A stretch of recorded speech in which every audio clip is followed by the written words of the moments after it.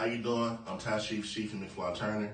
I'm donating to peace and Orton America. Shout out to Nancy and Ron Rechter and Shira and Lyle Wolberg for being my sponsors this year. This is my third consecutive year. I have a piece right now. It's called Detroit Blues. Um, I called it that because of the blue outline and everything like that. Um, let's see. I feel like it's what's in my heart because I make a lot of subconscious characters. So every character comes from the heart, comes from my mind, and I wanted to put a lot of positivity and stuff into this piece. So it's made out of acrylic. So acrylic paint, um, 24 by 24 inch wood panel, and yeah.